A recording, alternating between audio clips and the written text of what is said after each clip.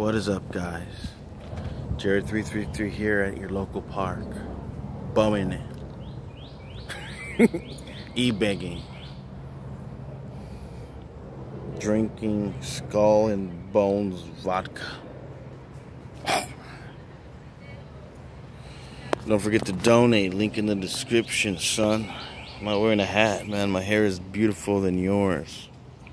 My fat is luscious. I uh, haven't even started drinking yet. These stupid loud girls over there, they need to shut up. Holy crap, this is hard to open. They need to shut the hell up.